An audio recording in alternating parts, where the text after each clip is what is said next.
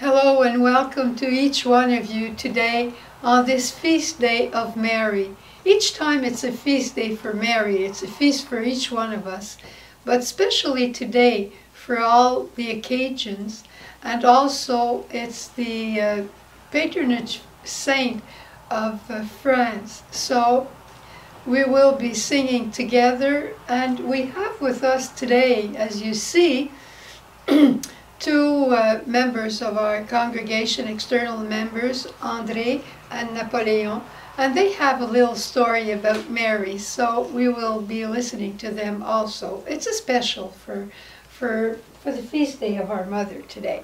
So let us sing to start with. Let me sing to you, Mother Mary. Each day of my life I want to bless your name. Hail, Mother of graces, blessed are you,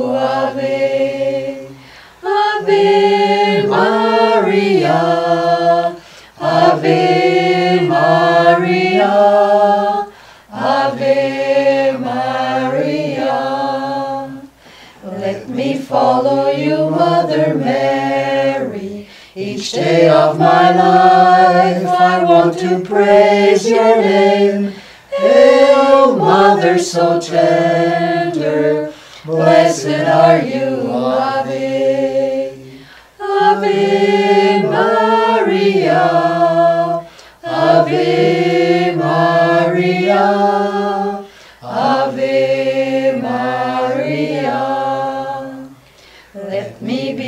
child, Mother Mary. Each day of my life I want to pray to you. Hail, Mother so loving, blessed are you, Ave.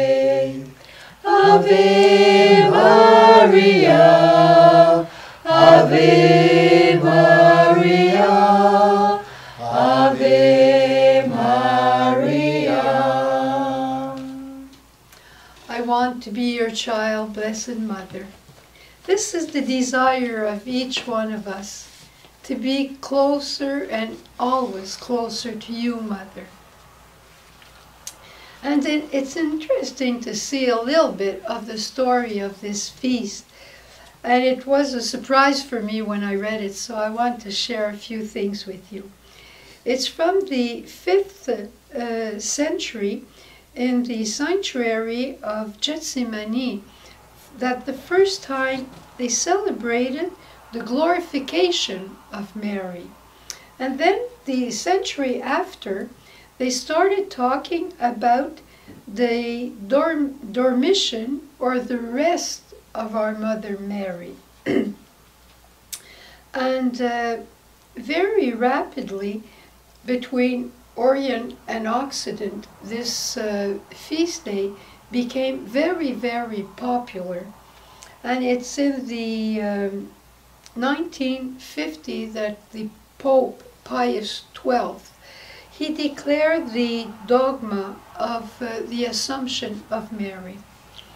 But just to think that the people in the fourth century were they since it's like the Holy Spirit was there and telling them that Mary didn't resurrect like Jesus, but there must have been something special. They, they weren't talking about the assumption of Mary, but they knew that she couldn't die like we do because death is something that comes from sin. And Jesus was the, the, the winner on all that. But for Mary, it, it had to be something special. And this assumption of Mary is not only a gift for her, but it's a gift for each one of you, of us. It's a gift for you also. Because what belongs to the mother belongs to the child. I tried that a few times with my own mother. I went into her room and I said, Mom, if this is yours, it's also mine. She just looked at me and she said, It's mine to start with. because I would have been in her things all the time. But the assumption of Mary is for us life sweetness and hope. And this is what we sing in the Salve Regina each night before we go to bed. It's life because that Jesus goes up into heaven, he enters with his body, with his soul. This is normal because Jesus is divine.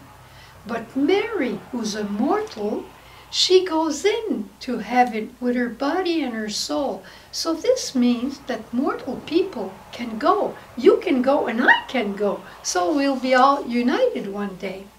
And it's also uh, a mystery of sweetness because this says to us, you know, Mary was there at the foot of the cross and she was there receiving the blood of Jesus. She was there praying for each one of us. But she's also in heaven praying for each one of us. And she's there in heaven looking upon us. Huh? So it's, a, it's, a, it's sweet to our heart to imagine her with her body, with her soul, and that we're sitting beside her talking with her. And it's also um, a mystery of hope because, as I was saying, one day we know that our turn will come. What belongs to the mother belongs to the child. And I know a little story before we hear the stories of our brothers. But uh, they say that if St. Peter says to someone who gets to heaven, you can't go in, the door is closed. Don't be afraid. If you're a child of Mary, she'll open all the windows. Never forget that. Never forget that. So it's this is a mystery of hope for each one of us. So now, who is starting? Who's going first? Napoleon. Yes, okay. Mary, under the name of Mary Help of Christians, or Marie Auxiliatrice in French, or in Latin, Maria Auxiliatrice. Mary Help of Christians is, uh, is the patron saint of the Salesian family. I was a member of the Salesian family for at least six years. I was brought up with them. I went to school, uh, high school and college with them also. So, but when I came back, uh, when I came uh, as a lay person, then I went to, uh, I married Yolande, and I, we went to Barkland, to live in Barkland. It's the name of the, of the parish is Marie Auxiliatrice Ooh. de Barkland. Oh, yeah? So, it's not, it's just unbelievable how that came about. Then, uh, after a few years, we met uh, the family, Famille Myriam, Myriam family. And then we also like to come to Capshaw. And in Capshaw, there are there's the little sisters, the Titsar Myriam. They, they teach us a lot about Mary and the different titles that Mary have, and we love that. And it's not, uh, yes, of course, uh, my parish also, one thing that happened uh, I, I, forgot, that uh, we had a statue of Marie Auxiliatrice in Montreal, and our, our uh, pastor went to Montreal and brought the statue back to Marie Auxiliatrice in, uh, in, Boston. in Bartland. So, this is it. I'm coming back to the, uh, the Myriam family, and we are very happy to come here every year for about now five or six years and to learn more about Mary. Thank you, Mary. this is like uh, the story of our, our founder, Sœur Jeanne. When I was talking the other day in the Triduum uh, Marial, that Sœur Jeanne was for many years in her congregation the servants of the Holy Heart of Mary. And she left her congregation after, I don't know, 30, 35 years, and she founded the Famille Myriam. And, uh, but what is fantastic is, like your story, Mary didn't leave her because she left her congregation. Mary followed her. And about five or six years ago, she has this image in her room of uh, in her bedroom of uh, this Mary of the Sacred Heart of Mary. And one day she was very, very sick, near close to dying, and we didn't know what to do with her. And I just looked at the Mary and I said, Mary, tell me what to do. And I think she told me the right thing because we saved her that day. But what was impressing, what, uh, what touched my heart, is that that Mary that had followed her for 35 years was still following her. So it's like a mother never forgets her child. And it's the same for you. You, you, you came out of the Salesians and you got married, but Mary is still following you. That's That's right, fantastic. yes. Yeah, that's nice. And André, My story. Okay. My father passed away in 2010, in March 2010. And uh, my brother and I decided to have a funeral celebrated for him, for the repose of his soul, in Dorval at the presentation of our Blessed Virgin Parish. Uh, we had the celebration, and afterwards, the parish priest um, gave my brother and I two liturgical, liturgical candles about yay high and uh, told us, look, it's a symbol, a token of the presence of your Father. And should you feel you need to pray for him, do so. It's, uh, it's something visible for you to remember your Father. That was in March. And that following summer, in July, there was a heat wave. It was hot, let me tell you. I don't know if it was hotter than this June, but it was hot. And um, our candle was placed on the dining room buffet, and um, not far away was a small basket containing um, little the bread of life uh, cartons or cards, what we call les petits pains de la parole. And uh, so we went to bed, and the following morning, my candle had softened up and had bent down, and it was in the cards, in the Bread of Life cards. And I said, My gosh, what, what's happening? So, uh, but it had cooled down now, it was in the morning, and so we, I tried to raise the candle, and two Word of God was in the candle. One I could remove, but the other one remained embedded and I couldn't remove it. And I read what was saying. I don't know what pastor, but passage of scripture it was, but it says, "Soon I will deliver you." And I then realized that my father needed prayer. So that was in the summer, maybe July of 2010. A year went by, and in the December of the following year, in 2011, I went to um, a retreat house in Three Rivers, Quebec, for the week. It was a week long retreat. And um, I entered the house, and I remember I sat down for the, the dinner that evening, and uh, someone mentioned that uh, reconciliation with our loved ones, with our deceased, is a real possibility. And that intrigued me.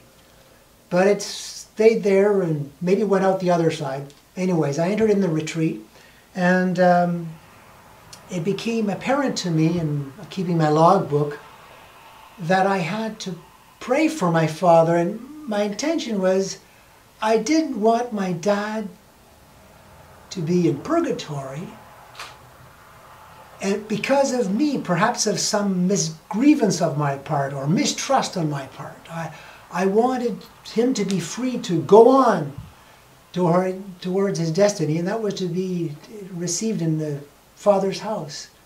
So that week went by, and the, the, the last evening there was a celebration, and um, there was praise and glory to our Father. And the one party responsible for the retreat house received a prophecy.